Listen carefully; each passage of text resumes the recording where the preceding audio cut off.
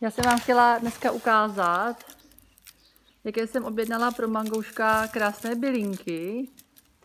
Mangoušek tady nade mnou inhaluje a chystáme se na trénink.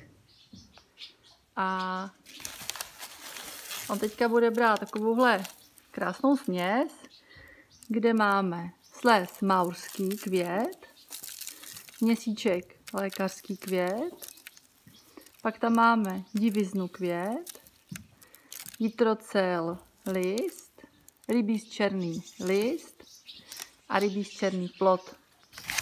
Je to směs na podporu a zlepšení dýchání, takže já doufám, že v tomhletom horkém teplém počasí, kdy je hodně prachu a sucho, se mangouškovi bude dobře dýchat.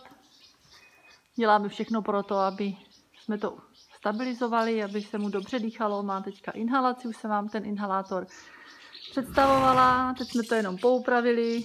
Má to otočený tu powerbanku, kabely jdou z vrchu. Tady jsme to zamotali, aby se nám to tak jako nevyselo tady tak nevzhledně.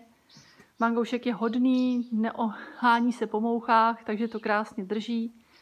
A věříme, že léto, tohle suché, teplé léto zvládneme a zase budeme běhat a hezky dýchat a i včetně bylinek bude takováhle krásná podpora. Tak jo, takže my vám přejeme krásný léto a třeba máte inspiraci, co koníčkům pomoct na dýchání za bylinky. Takže Petr Jaru, ahoj!